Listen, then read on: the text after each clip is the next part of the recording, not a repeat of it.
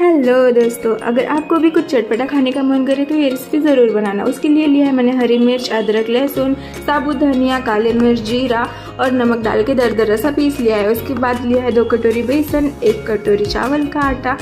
उसके बाद अजवाइन डालेंगे, देन सफ़ेद तिल। उसके बाद हमने पेस्ट बना के रखा था, वो डाल देंगे। ढेर सारा हरा धनिया, लाल मिर्च पाउडर, हल्दी पाउडर। उसके बाद नींबू निचोड़ देंगे खट्टेपन के लिए। बहुत अच्छा फ्लेवर आता है। थोड़ा थोड़ा पानी डाल के इसका हम थिक बैटर बना लेंगे तो आप देख सकते हैं, बिल्कुल हमें इतना ही थिक बैटर बनाना है। पत्तियाँ लेंगे हम उसके दोनों तरफ़ से, ऐसे ये पेस्ट लगा देंगे, अच्छे से इसको स्प्रेड कर देंगे और दोनों तरफ़ से फोल्ड कर देंगे। बिल्कुल इस तरह से हमें फोल्ड करना है।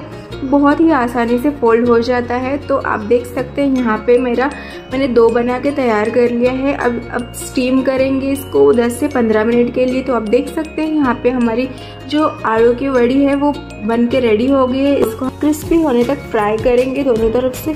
तो लीजिए, हमारा रिक्वेस्ट बन के तैयार है।